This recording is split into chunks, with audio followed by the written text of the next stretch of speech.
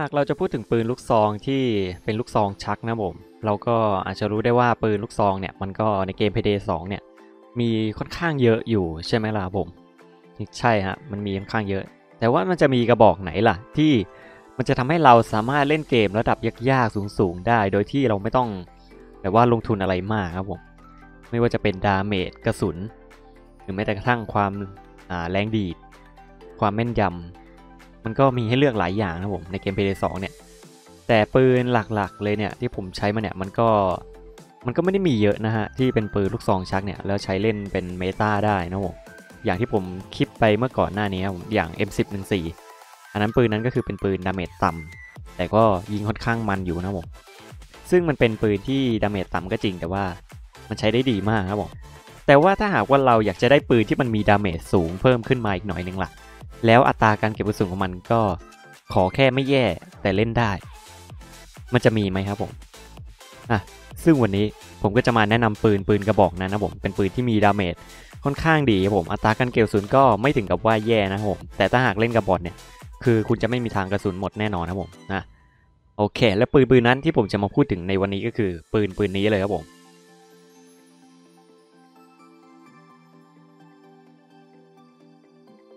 โอเคก็สวัสดีท่านผู้ชมทุกท่านด้วยครับผม แล้ววันนี้เราก็มาอยู่ผมโชโกคิวนะฮะแล้ววันนี้เราก็มาอยู่ในคลิป The Build นะครับผม หลังจากที่ห่างหายกันไปนานนะครับผมสำหรับคลิปอ่าซีรีส์ The Build นี้ครับผมอะแต่ตอนนี้เราก็ได้กลับมาทำกันแล้วผมฮะไม่ต้องห่วงนะผมหลังๆวันนี้ผมอาจจะมาทำ The Build บ่อยขึ้นแล้วผมขึ้นอยู่กับการรีเควสของท่านผู้ชมนะฮะอะคลิป The Build นะครับผมเป็นคลิปที่ท่านผู้ชมจะสามารถ request ผมมาได้ผมว่าจะให้ทำคลิป Build อะไรต่างๆนานาผม Build นู่นนี้นั่นปืนนี้ปืนนั้นนะผมก็สามารถ request มาได้เลยผม ซึ่งคลิปก็อาจจะไม่ได้ปล่อยมาเร็วนะผมเพราะว่าผมเองก็ต้องมีเวลาทำงานแล้วก็เวลาเล่นเกมไม่มากเท่าไหร่นะผมก็ช่วงนี้อาจจะไปติด livestream บ่อยนะผมอ่าก็ต้องขออภัยด้วย แต่จะมาทำให้อย่างแน่นอนนะผมโอเคฮะสำหรับคลิป W ในตอนนี้ผมก็เป็นคลิปที่ได้รับการ request มาจากคุณจุมเม่นะผมว่าให้ทำคลิปเกี่ยวกับปืนอ่าไอ้นี่ครับผม Reinfeld Reinfeld นะผม Reinfeld แปดนะผมซึ่งผมเองก็ไม่ได้ใช้ปืนปืนนี้บ่อยเท่าไหร่นะ เคยเอาไปลงคลิปด่านบู๊ใน storyline มาคลิปหนึ่งนะผม แต่ก็ไม่ได้ใช้บ่อยเท่าไหร่นะผม แต่โดยรวมๆแล้วเท่าที่ผมเคยจับลองใช้มาเนี่ย ก็เป็นปืนที่ damage สูงอยู่ครับผม แล้วก็อัตราการเก็บกระสุนก็อาจจะดูไม่ได้แย่ไม่ได้ดีอะไรมากผม แต่มันก็พอเล่นได้นะผมนะ ซึ่งในวันนี้เนี่ยผมก็จะมาอธิบาย build สำหรับปืนกระบอกนี้ผมว่าจะใช้ยังไงให้มันคุ้มค่าผมสำหรับ damage ของมันแล้วก็ อัตราการเก็บกระสุนของมันนะผม ซึ่งมันเป็นปืนที่ผมเองก็อยากให้ผู้เล่นใหม่ๆเนี่ยได้ลองกันใช้นะ แต่ว่ามันก็เป็นปืน DLC ด้วยเหมือนกันนะผมอะถ้างั้นเราไม่พูดพร่ำทำเพลงแล้วผม เราไปเข้ากันดูในเกมเลยดีกว่านะผมว่าเป็นปืนแบบไหนครับผม โอเคฮะ หลังจากที่เราเข้าที่หน้าเมนูนะผม เราก็ไปดูที่ปืน Reinfeld ของเรานะผม มันต้องเล่นลิ้นหน่อยผมสำหรับปืนปืนนี้อะ โอเค เราไปที่หมวด shotgun นะผม อ่า Reinfeld แปดแปดนะผม ปืนนี้เป็นปืนจาก DLC Gunslinger Weapon Pack ครับผม ราคาก็ถ้าใครไม่ค่อยมีตังค์เนี่ยก็อาจจะไม่ค่อยได้ซื้อเท่าไหร่นะผมมันเป็นปืน DLC ที่ราคาก็ไม่ได้ถือว่าสูงมากแหละ แต่ก็พอซื้อได้ผมนะแนะนำเลยครับผมเราไปดูที่ stat ปืนกันก่อนนะผมว่าเป็นปืน stat แบบไหนครับผมอะ Reinfeld นะครับผมเป็นปืนที่มี magazine อยู่ที่ 7 นะครับผมอืมอ๋อแล้วก็ total ammo เนี่ยอยู่ที่ 35 ผม ซึ่งท่านผู้ชมเองก็คงจะรู้แล้วล่ะว่า กระสุนเนี่ยน้อย แต่ damage ของมันเนี่ยอยู่ที่ 120ร้อยหกร้อยยี่หกเลยนะ ซึ่งแน่นอนแหละฮะ ปืน damage สูง magazine น้อย ไงก็แดกกระสุนแน่นอนครับผม อัตราการเก็บกระสุนต่ำแน่นอนครับผมนะ ซึ่งเดี๋ยวเรื่องนี้เราสามารถ fix มา fix อัตราการเก็บกระสุนของมันได้ทีหลังครับผมนะ โอเค ต่อไปดูถัดไปแล้วผม fire rate ฮะร้อยยี่สิบฮะ ซึ่งเป็นอะไรที่ผมคิดว่าน่าแปลกอยู่เหมือนกันสำหรับปืน damage สูงแบบนี้ เป็นลูกซองชักแบบนี้ แต่ว่าท่านผู้ชมเชื่อไหมฮะว่าปืนลูกซองนี้เป็นปืนลูกซองที่สามารถยิง rapid fire ได้ผมก็คือยิงรัวได้นั่นเอง แต่ผมไม่ค่อยแนะนำเท่าไหร่นะ ถ้าหากว่าคุณไม่อยากกระสุนหมดก่อน หมดหมดก่อนที่จะเก็บได้ครบอ่าได้เยอะเนี่ยกระสุนได้เยอะเนี่ยแนะนำว่าอย่ายิงรัวครับผม ยิงรัวเมื่อ เท่าที่คุณคิดว่าคุณพอจะเล็งมันได้ผมอย่างเช่น Bulldozer Taser เนี่ยถ้าคุณคิดว่าคุณไม่สามารถ one shot มันตายได้เนี่ยก็ยิงไปสักนัด 2 นัดแล้วก็ค่อย rapid ก็ได้นะผม แต่ต้องมั่นใจด้วยนะผมว่าไม่ใช่ยิงรัวไปจนกระสุนหมดบุมบุมบุมบุมบุมบุมอ้าวกระสุนหมดใช้ไม่ได้แล้วจบเลยแย่เลยนะอย่างนี้ แนะนำว่าอย่ารัวนะผมสำหรับปืนไฟเลตแบบนี้อะต่อไป accuracy ฮะ40 ซึ่งมันก็ถือว่าค่อนข้างสูงอยู่ครับผมแต่ว่าอ่าผมแนะนำนะผมถ้าจะแต่งปืนเนี้ยให้ลดค่า accuracy ลงนะผมเพราะว่าปืนนี้เนี่ยมันผมแนะนำว่ายังไงซะแต่ง stability stability ก็ยังดีกว่านะผม ไม่ควรแต่งเพิ่ม accuracy นะผม เดี๋ยวเราจะไปลดค่า accuracy ในอตอนบิวปืนนี้นะผมนะแนะนำเลย ถ้าว่าเราเพิ่มค่า accuracy เนี่ยมันจะทำให้ลูกซองเรายิงได้ไกลขึ้นก็จริง แต่ว่ามันลูกซองอะคือคุณก็ต้องใช้ฮะเข้าใจนะว่ามันเป็นลูกซองยิงเน้นกระจาย ยิงสเปซยิงกระจายยิงตัวโดนรอบข้าง อะไรแบบนี้ครับผม การเพิ่ม accuracy เนี่ยมันจะเป็นการแบบลดอ่าทำให้มันเป็นข้อด้อยไปอีกนะผมนะไม่ค่อยดีเท่าไหร่ ถ้าจะเอาปืนยิงแม่นๆเนี่ยเดี๋ยวผมแนะนำให้ใช้ปืนสำรองซะมากกว่านะครับผม โอเค stability อยู่ที่ 36 ฮะ แต่ก็จะแต่งไม่แต่งก็ได้ครับผมสำหรับปืนช็อตกันนี้ แต่ถ้าแต่งถ้าคุณเน้นยิงรัวแล้วก็อะแต่งไปก็ได้นะผม stability ต่อไปฮะ consummate 17 นะครับผม 17 เนี่ยถือว่าปานกลางอยู่นะครับผม ซึ่งมันก็ถือว่าค่อนข้างปานกลางแล้วมันก็ดีนะครับผม เพราะว่าคุณสามารถอุปกรณ์ของมันเนี่ยเราสามารถแต่งเพิ่มค่า consummate ได้ผม ซึ่งหมายความว่าไงฮะ หมายความว่าเราสามารถเล่นสาย low blow ได้นะผม low blow สาย crit low blow unseen strike combo ได้ผมนะแต่งแต่อาจจะแต่งถึง 3 ถึง 4 เนี่ย ไม่ไม่ค่อยได้เท่าไหร่นะฮะ มันอาจจะต้องใช้ปืนกากๆหน่อย แล้วก็แต่งกากๆหน่อยครับผม แต่ก็ไม่เป็นไรฮะ เราแต่งอ่า unseen อ่า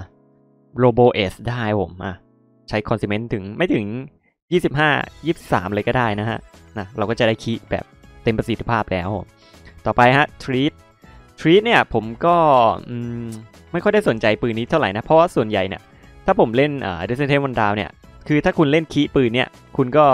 ยิงหัวมันก็นัดเดียวตายแล้วฮะ พวกหน่วย Shield เนี่ย หน่วย Shield หน่วยสวัสดเนี่ยฮะ ยิงหัวนัดเดียวคุณก็ตายแล้วฮะ มันก็ตายแล้วฮะ แต่พวกบูดเซอร์หรือพวกตัวอื่นมันก็อาจจะไม่ค่อยเท่าไหร่นะฮะ แต่ถ้าลดค่าชีดได้เนี่ย เราก็ต้องใช้เก็บเสียงครับผมนะ ซึ่งเราเดี๋ยวเราก็ต้องไปใส่เก็บเสียงเนี่ยเพื่อลดค่าชีดนี้ลงนะ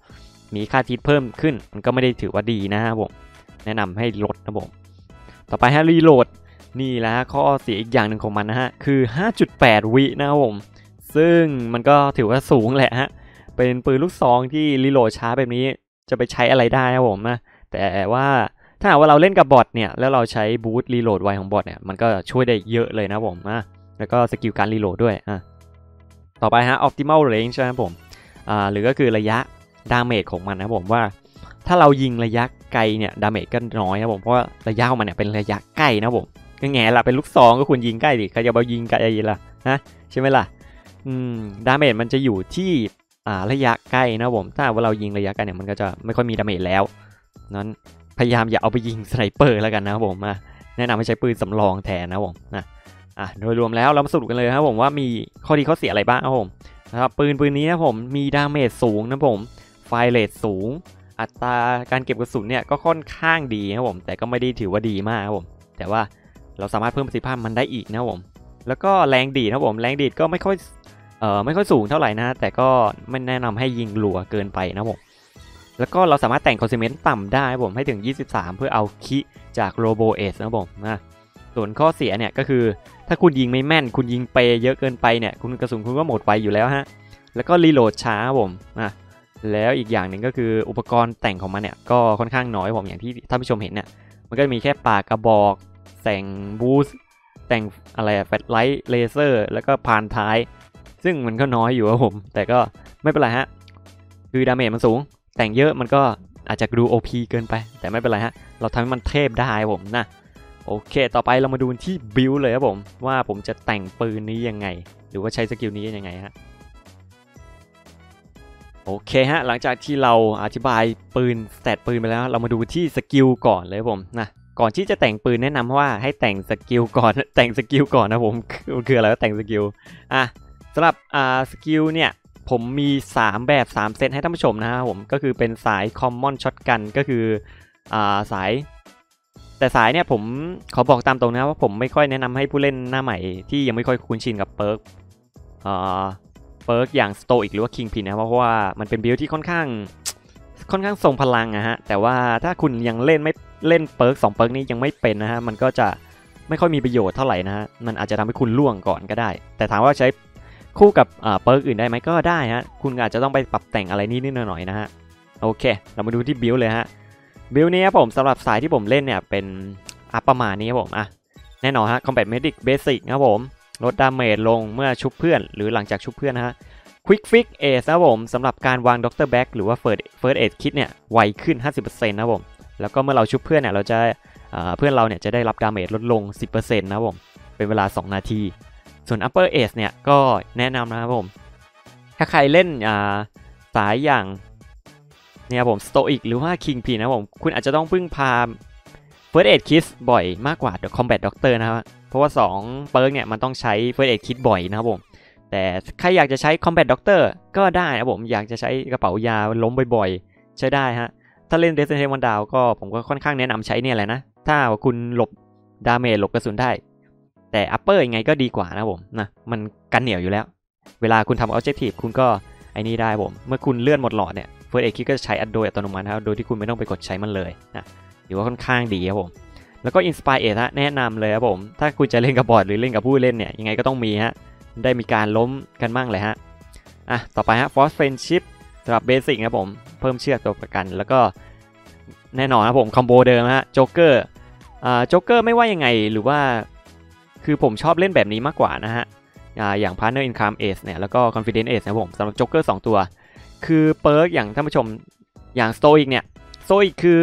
อย่างที่ท่านผู้ชมรู้ฮะว่ายิ่งคุณโดน damage เยอะเท่าไหร่เนี่ยคุณก็ยิ่งเรื่อง damage over time เนี่ยคุณจะลดบ่อยขึ้นนะผมรวมทั้ง Kingpin ด้วย Kingpin สอง combo เนี่ยผมอยากให้ใช้โจ๊กเกองตัวนะฮะอันนี้ฟังที่ผมพูดนะ อยากให้คุณใช้โจ๊กเกองตัวนะฮะเพราะว่าถึงแม้คุณจะมี skill ที่ไม่ทำให้คุณตกเป็นเป้า แต่มันก็ไม่ได้แปลว่าคุณจะไม่โดนยิงตลอดเลยนะผม การที่คุณมีตัวตัวแดกกระสุนตัวรับ damage แทนคุณเนี่ยมันก็ถือว่าดีอยู่แล้วนะผม เพราะว่าคุณตัวบางอยู่แล้วนะเล่น Death Sentence มันก็อาจจะทำให้คุณโดนเป็นเป้าบ่อยขึ้น การมีโจ๊กเกอร์มาช่วยเนี่ยมันก็จะทำให้คุณแบบ อ่ายืนได้อีกนานหน่อยครับผมอะมีตัวรับตีนแทนเราก็ยังดีฮะและแน่นอนฮะ Hostage Taker ฮะอ่า perk เอาไว้ไอ้ skill เอาไว้รีเจนเรื่องของเรานะฮะจำเป็นต้องมีเลยครับผมไม่ว่าจะสโตอิกหรือว่า Kingpin นะฮะต่อไปฮะแต้มอีกอันหนึ่งก็คือ stable shot นะฮะเพิ่มค่า stability ฮะเล่น shotgun ผมก็อ่าบางครั้งผมก็ยิงรัวก็มีนะฮะถ้าเอายิงไม่ตายนะแต่ใครจะไม่อัพอัพหรือไม่อัพก็ได้ครับผมเป็นแต้มเหลืออยู่แล้ว ต่อไปฮะ enforcer สายหลักของเรานะผมแน่นอนฮะเล่น shotgun ก็ต้องอัพ มาทาง basic ครับผม Underdog นะ เพิ่ม damage 15%เมื่อมีศัตรู 3 ตัวเล็งเราอยู่ในระยะ 18 เมตรครับผมนะอันนี้อัพเป็นทางอัพขึ้นไปครับผมสำหรับ combo shotgun ก็อัพประมาณนี้เลยครับผมช็อตกัน CQB รีโหลดเร็วขึ้น ซูมไวขึ้นนะครับผมช็อตกัน Impact ฮะเพิ่ม damage 15%แล้วก็เพิ่มค่า stability ให้กับ shotgun นะผมนะจำเป็นต้องมีเลย damage นี้ เพราะว่าปืนเราไม่ค่อยมี damage จริง ๆ ปืนเราก็มี damage แล้วฮะมัน damage หลักร้อยเลยใช่ปะล่ะแต่เพิ่มมาอีก 15%มันก็ ถือว่าอาจจะทำให้เรา one shot ได้เลยนะ ก็ถือว่าดีอยู่นะ ไม่อัพอัพไม่อัพก็ได้นะ ส่วนใหญ่ผู้เล่นโปรโปรเนี่ยเขาจะไม่ค่อยอัพกันเท่าไหร่นะฮะ แต่ผมแนะนำว่าถ้าคุณยังไม่ยังไม่ได้อัพ skill Berserker เนี่ยก็อัพอัพไปไปก็ดีนะฮะนะกันเหนียวเอาไว้ แล้วก็ต่อไปฮะ close by ฮะเราสามารถวิ่งไปยิงไปได้ครับผม hip fire ถ้าใครเล่นอย่าง Death Wish อะไรเงี้ยคุณก็วิ่งไปยิงไปก็ได้อยู่แล้วฮะอัพไปก็ดี เพิ่ม fire rate ฮะ15อ่า35%เมื่อยิงโดยใช้ shotgun ที่อยู่ในโหมด ยิงทีละนัดนะครับผมแน่นอนครับเป็นปืนลูกซองชักเนี่ยมันก็ยิงได้แค่ทีละนัดอยู่แล้วเพิ่ม fire rate มันก็ไม่ได้ถือว่าแย่ไม่ได้ถือว่าดีนะแต่ถ้าจะอัพเอสไม่อัพเอสก็ได้นะฮะเพราะว่าปืนนี้เนี่ยมันเป็นปืนที่อ่าอย่างที่ skill มันบอกนะครับมีเพิ่ม magazine ให้มันด้วย แต่ว่าปืนนี้มันไม่ค่อยมี magazine เท่าไหร่นะฮะมันไม่นะเพราะฉะนั้นอัพไม่อัพก็ได้ครับผมแล้วแต่เลย ต่อไปฮะ overkill ฮะ basic เมื่อเราฆ่าศัตรูได้เนี่ยเราก็จะเพิ่ม damage นะครับผมสำหรับปืนที่เราฆ่าด้วยศัตรูสำหรับปืนที่เราฆ่าศัตรูด้วย shotgun หรือว่าเลื่อยนะเราก็จะได้รับ damage เพิ่มขึ้น 75%นะผมขออภัยที่ลิ้นพันด้วยครับผมช่วงนี้ไม่รู้เป็นอะไรลิ้นพันบ่อยเหลือเกินนะก็จะเป็นต้องมีครับผมรวม2 combo นี้เนี่ยก็จะเป็นอ่าเท่าไหร่75บวกอีก15 ก็ 95 หรือเปล่า 90 หรือเปล่างงตกคณิตแล้วโอเคฮะ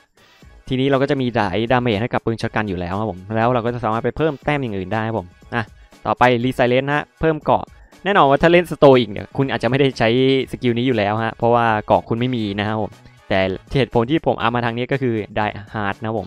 เมื่ออคุณ interact กับสิ่งของอะไรเนี่ยอย่างเช่นซ่อมสว่านชุบเพื่อน ระยะใกล้เนี่ยหรือว่าทำภารกิจเนี่ยคุณจะได้รับ damage ลดลง 50%นะผมสำหรับสายสโตอีกอย่างผมเนี่ยผมคิดว่าอันนี้ค่อนข้างจำเป็นอยู่นะผมเพราะว่ามันกัน damage ได้เยอะเลยนะหาที่ห้าสิบเปอร์เซ็นต์เลยเนี่ยแนะนำเลยผมต้องมีต้องมี แต่ใครจะไม่อัพก็ได้ผมสอง combo นี้เก็บแต้มไปตั้งสามแต้มเลยนะ ถ้าไม่ได้อัพเนี่ย ต่อไปฮะ Scavenger Ace อันนี้คือสิ่งที่ผมอยากจะบอกท่านผู้ชมฮะ เนื่องจากปืนเราเป็นปืนที่แดกกระสุนนะฮะ เราจำเป็นที่จะต้องเพิ่มอัตราการเก็บกระสุนให้มันนะผมก็คือการอัพ skill นี้ครับผม เมื่อเราฆ่าศัตรูครบ 6 ตัวเนี่ย เราจะได้รับกล่องกระสุนเพิ่มขึ้นอีก 1 กล่องนะผม ถามว่าดีไหมมันก็ไม่ได้ถือว่าดีอะไรฮะ แต่ว่าคือมันช่วยเราได้อะฮะ คือผม ถามว่าตอนผมเล่นเนี่ยผมไม่ได้อัพไอ้เนี่ยผมอยู่ได้ไหมมันก็อยู่ไม่ได้จริงๆอะคือมันแบบมันยากอะฮะกระสุนอัตราการเก็บกระสุนมันค่อนข้างน้อยฮะแต่มันก็ไม่ได้ถือว่าน้อยมากฮะการที่เรามี skill เนี่ยมันก็ทำให้ผมแบบว่ากระสุนยังเหลืออยู่ฮะเออยังเหลือใช้ได้อยู่ครับผมแนะนำเลยฮะแต่ใครจะอัพ ace ไม่อัพ ace ก็ได้ครับผม แต่ถ้าเล่นกับ bot เนี่ยใช้ boost ของมันที่เพิ่มอัตราการเก็บกระสุนก็ได้นะฮะอันนั้นก็ถือว่าแก้ขัดไปได้ แต่ถ้าเล่นกับผู้เล่นออนไลน์หรือผู้เล่นกับคนอื่นเนี่ยก็ ace ไปก็ดีนะฮะ ต่อไปฮะ Technician เหลือแต้มฮะ แต้มเดียวจะอัพอะไรก็ได้ครับผม Hardware Expert ก็ทำให้เราซ่อมสว่านได้เร็วขึ้นนะผมสำหรับ mode Death Sentence เนี่ยผมแนะนำว่ามี Hardware Expert basic เนี่ยมันก็จะช่วยเราได้ครับผมเวลาคุณทำ objective เนี่ยเพราะว่าคุณซ่อมสว่านเร็ว อะไรแบบนี้ฮะมันก็ถือว่าดีนะฮะ มันทำให้คุณไม่ตกเป็นเป้านานขึ้นด้วย ต่อไปฮะ Ghost ฮะ Ghost ผมก็เอามาทางแบบนี้ครับผม Duck and Cover เพิ่ม Stamina แล้วก็ Stamina Regen เร็วขึ้นนะครับผม แล้วก็ Parkour ฮะ basic เลย แนะนำฮะ Speed is the key to victory นะฮะต้องจำขึ้นใจนะฮะ เราจะทำให้แบบว่าเราเดินเร็วขึ้น 10%นะครับผม แล้วก็ปีนบันไดขึ้นอีกเร็วอีก 20%นะครับผม Movement Speed นี่คือสิ่งสำคัญนะผม ถ้าไม่มีก็คืออยู่ไม่ได้นะฮะ แต่ถามว่าฝรั่งส่วนใหญ่เนี่ย ผมเท่าที่ผมไปดูนะท่านผู้ชมท่านผู้ชมฮะท่านผู้ชมจะอัพหรือไม่อัพ basic อันนี้ก็ได้ครับผม Movement Speed เพิ่มขึ้น 10%เพราะเหตุผลเพราะว่าคุณมี Convert อยู่แล้วฮะใช่ฮะ Convert ของคุณเมื่อคุณ Convert ได้แล้วเนี่ย มันก็จะเพิ่ม Speed Movement Speed ให้คุณอีก 10%นะครับผม ซึ่งถ้าคุณใช้ 2 อันเนี่ยมันก็จะแสกเป็น 20%เลยใช่ปะล่ะ แต่ถามว่าคุณไม่อัพได้ไหมอันเนี้ยพากัวก็ได้นะครับผม คุณมีโจ๊กเกอร์อยู่แล้ว คุณก็ได้ Movement Speed อีก 10%อยู่แล้ว เพียงแต่ว่าคุณอาจจะไม่ได้วิ่งไวแบบว่าอู้ไวมากไวมากอะไรประมาณนี้ครับผม แต่จะอัพไม่อัพก็ได้ครับผม เพราะว่ามีทั้ง 2 แต้มเลยนะ เอาไปอัพอย่างอื่นก็ดีกว่าไหม Professional บวก Stability เนี่ยเอออย่างอื่นก็ยังดีกว่านะฮะ แต่ผมนะผมสายพิวอยู่แล้ว ไงก็ต้องอัพฮะไม่อัพมันอยู่ไม่ได้ฮะจริงๆ ต่อไปฮะ Second Win ฮะ เล่นเอ่อเล่นโซอีกมันไม่ค่อยพอกเท่าไหร่อะเพราะเกาะคุณแตกคุณก็จะวิ่งไวนะแต่คุณไม่มีเกาะเลยคุณก็เล่นไม่ได้แต่ถ้าคุณเล่นอย่าง King Pin เนี่ยคุณก็อาจจะใช้ได้นะผมแล้วถัดไปฮะ Optical Illusion นะผมตกเอ่อลดอากาศตกเป็นเป้าลง 35%นะครับผมแล้วก็ Ace เนี่ยลดค่า Consument นะครับผม Consument Penalty หรือว่า Consument ที่ถูกหักลบของอุปกรณ์ติดใส่เก็บเสียงเนี่ยก็จะถูกหักออกนะครับผมหักออกไป 2 เลย แนะนำว่าต้องมีฮะถ้าจะแต่งปืนให้อ่าเล่นแบบว่าสายคีได้เนี่ยอย่าง Robo S เนี่ยยังไงก็ต้องใช้อุปกรณ์เก็บเสียงอยู่แล้วผมอุปกรณ์เก็บเสียงเกมนี้เนี่ยถือว่าค่อนข้างดีนะผม ถ้าคุณไม่อยากตกเป็นเป้านะครับผม แนะนำให้ใส่อุปกรณ์เก็บเสียงครับผม มันจะทำให้เวลาคุณยิงเนี่ยศัตรูมันจะอ่อไม่ดอแอโกมาทางคุณนะฮะ แล้วก็ถัดไปเลยครับผมโลโบฮะ แน่นอนคีติคอลฮะคีติคอลเกมนี้คือสิ่งที่สำคัญที่สุดนะผม และเมื่อคุณยิงหัวนะฮะ ยิงหัวแล้วติดคีจะยิ่งแรงขึ้นไปอีกนะฮะ แนะนำจำเป็นต้องมีนะครับผมสำหรับปืนจริงอยู่ที่ว่ารถช็อตกันของเราเนี่ยดาเมจสูงอยู่แล้ว แต่ว่าการที่เรามีคีเนี่ยมันก็ทำแบบเฮดช็อตตายฮะวัดวัดนัดเดียวยังไงก็ตายฮะไอ้พวกหน่วยซิลหน่วยสวาเนี่ยฮะนะแนะนำเลยครับผมโรโบเอสส่วนใครจะอัพ Unseen Strike อัพไม่อัพได้ไหมก็อันนี้ก็แล้วแต่นะผมถ้าใครอยากจะเก็บแต้มตั้ง 4 แต้มเอาไว้อัพอย่างอื่นเนี่ยคุณก็ได้นะผมแต่ Unseen Strike เนี่ยก็เพิ่มคีนะผมมันทำให้คุณมี DPS ค่อนข้างสูงขึ้น หน่อยนึงอะ นะก็คีประมาณ 65%นะผมถ้าครับถ้าหากว่าท่านผู้ชมอัพ 2 อันเนี้ย65%เลยนะ ยิงไปนัด 2 นัดคุณก็ติดคีแล้วฮะ แต่ใครจะอัพอย่างอื่นก็แล้วแต่แล้วผม High Value Target เงี้ยก็ได้นะผม แล้วก็ Fugitive ฮะ แน่นอนฮะ ถ้าเล่น Death Sentence One Down อัพนะผม ถ้าคุณไม่อัพคุณอยู่ไม่ได้จริงฮะ คุณจะตายแล้วคุณก็ต้องรีพึ่งเกราะพึ่งเอ่อ med doctor bag อีกนะครับผม ถ้าใครจะเล่นแนะนำเลยครับผม ส่วน Swan Song ถามว่าจำเป็นไหมไม่จำเป็นนะผมผมบอกไว้เลยฮะ ตราบใดที่คุณล้มไม่บ่อยเนี่ย หรือว่าคุณไม่ต้องพึ่งไอ้ Swan Song บ่อยๆ ผมไม่แนะนำนะครับผม Swan Song เกมนี้มันถามว่าได้ OP จริงไหมมันก็ดีแหละฮะ แต่ว่าผมไม่ค่อยแนะนำเท่าไหร่นะ Swan Song เนี่ยมันคือมันไม่ค่อยมีประโยชน์ฮะแต่ใครจะเล่น Swan Song ก็ได้นะผม แล้วแต่เลยความถนัดของแต่ละคนนะครับผมไม่ค่อยชอบใช้ Swan Song เท่าไหร่ตั้งแต่โดน nerf ไปผมก็ไม่ค่อยเล่นมันแล้วฮะโอเคสำหรับ build สายสโตอีกหรือว่า Kingpin เนี่ยมันก็มีประมาณนี้ครับผมเปิร์ perk สำหรับ combo build เนี่ยผมแนะนำแค่สโตอีกกับ Kingpin เท่านั้นนะฮะใครจะใช้ perk อื่นก็ได้ แต่ว่า perk อื่นเนี่ยผมมี combo ของมันให้อยู่แล้วนะครับผมเพราะว่าตัว perk Stoic กับ Kingpin เนี่ยเหมาะสำหรับการเล่นอย่าง Death Wish Death Sentence ซะมากกว่านะผมนะแต่ใครจะเล่นโหมดกลางโหมดต่ำๆ Mayhem ลงไปก็ได้นะผมอ่าส่วนอีก build นึงเนี่ยผมมีอีกอันหนึ่งครับผมอะท่านผู้ชมบอกอู้ build เยอะจังเลยพี่อะไม่เป็นไรฮะผมมีสายสำหรับคนที่ชอบเล่นแบบ hardcore นะผมอะ เป็นยังไงฮะ hardcore hardcore ก็คืออ่า build ก็นี่ฮะสายเบอร์เซอร์เกอร์ลดเลือดนะผมอะใครอยากได้ Berserker 99% burn เลือดแบบว่าเยอะๆ damage เยอะๆ เนี่ย เอาไปเลยฮะ จัดไปเลยฮะ ผมจัดให้คุณฮะ สาย Berserker อ่ออนาคิสนะผมนะ perk นี้อ่า build เนี่ย เหมาะสำหรับคนที่ชอบเล่นสาย Anarchist นะผม แล้วก็สายลดเลือด ก็คือ no risk no reward นะครับผม ก็คือไม่เสี่ยงก็ไม่คุ้มนะครับผมนะสำหรับสายนี้ก็เหมือนเดิมครับผม แต่ว่าเราจะเปลี่ยนจาก Uppers ไปเป็น Combat Doctor ฮะ เพราะว่า คุณเล่นสาย Anarchist คุณไม่ต้องพึ่งยาอยู่แล้วนะครับผมนะยังไงคุณก็ต้องใช้ล้มบ่อยอยู่แล้ว คุณอาจจะต้องล้มบ่อย คุณอาจจะต้องใช้ doctor bag ก็ได้นะผมนะแล้วก็ Inspire ฮะแล้วก็ถ้าคุณเล่น Anarchist นะผมผมแนะนำให้อัพแค่นี้นะผมอะเท่าที่ผมไปดูจาก build ฝรั่งหรือว่า build ต่างๆมานานนะครับผมหลังจากที่ผม search ความรู้หาความรู้ไกด์อะไรมาเนี่ยก็พอจะรู้ได้ว่าเขาจะเน้นไปที่ Partners in Crime แค่ basic เอเอนะผม เพราะว่าทำไมเหรอฮะ เพราะว่าคุณได้เลือดเพิ่มขึ้น 30%ไงฮะ Anarchist มันเป็น perk ที่ convert จากเลือดของคุณไปเป็นเกราะนะครับผมซึ่งเนี่ยไอ convert จากเลือดไปเป็นเกราะเนี่ยสาคือมันเพิ่มขึ้นอ่าอาจจะไม่ได้เยอะมากแต่มันก็ถือว่าทำให้คุณกันโดน one shot ได้ผมเวลาเกราะคุณแตกเนี่ยคุณก็ไม่ถึงกับ one shot เลยนะ คุณก็รอดอยู่แล้ว แต่ถามว่าใครจะอัพ Hostage Taker ได้ไหมอันนี้คือ ถ้าคุณจะเล่น Berserker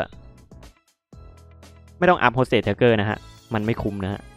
มันไม่คุ้มนะมันเหมือน counter counterweight กันนะฮะ counterweight กันนะฮะ มันไม่ไม่ได้ไม่ดีนะฮะแต่จะเล่น convert อีกตัวหนึ่งได้ไหมมันก็ผมก็ไม่ค่อยแนะนำนะฮะ เพราะว่าคุณอาจจะต้องเล่นเป็นสายเน้น damage นะผมอะต่อไปฮะ Enforcer ก็อัพเหมือนเดิมฮะ แต่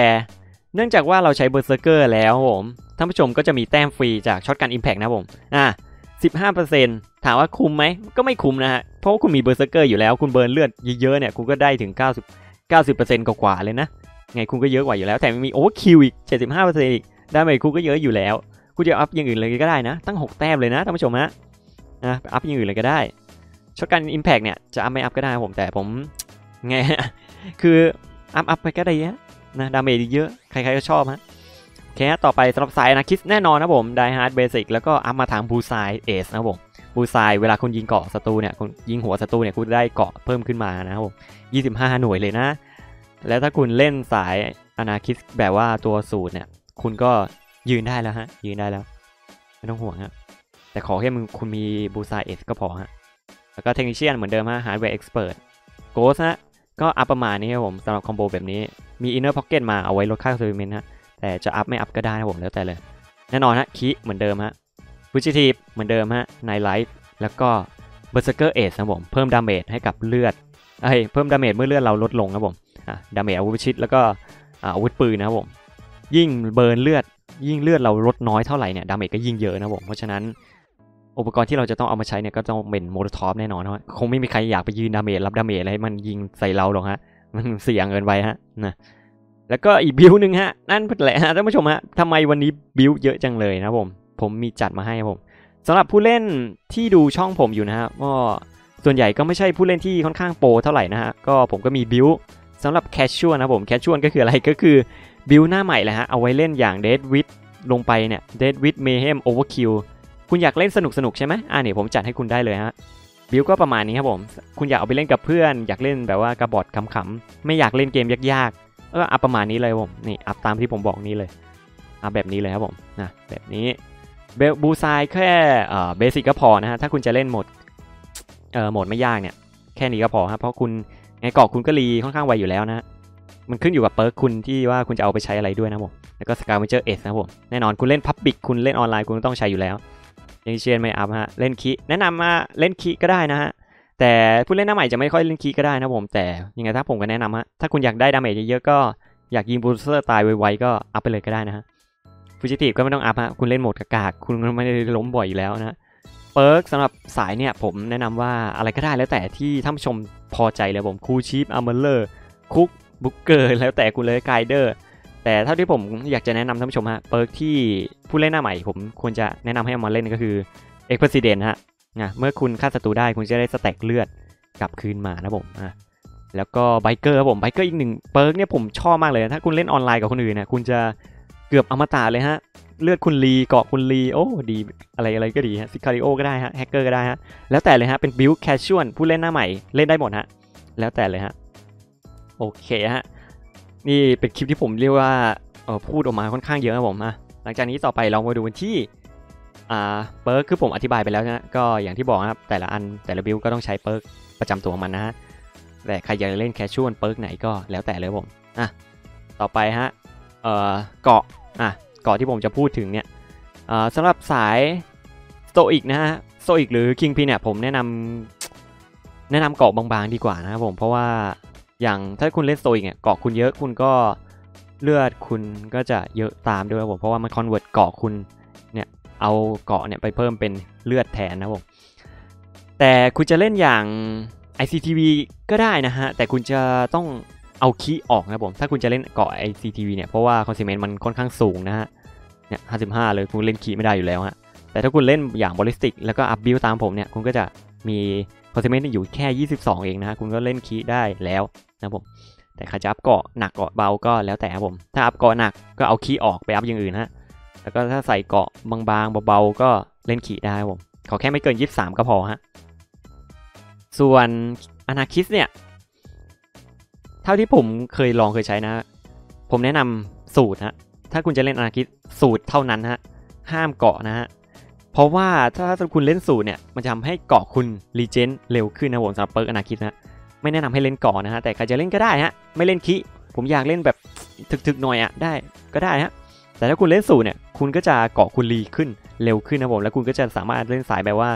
อ่า armor gating ได้ครับผม ก็คือเมื่อเกราะคุณแตกคุณก็เป็นอมตะนิดนึงครับผมประมาณเสี้ยววิ